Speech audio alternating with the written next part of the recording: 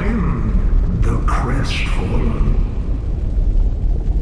Young Hollow, there are but two paths.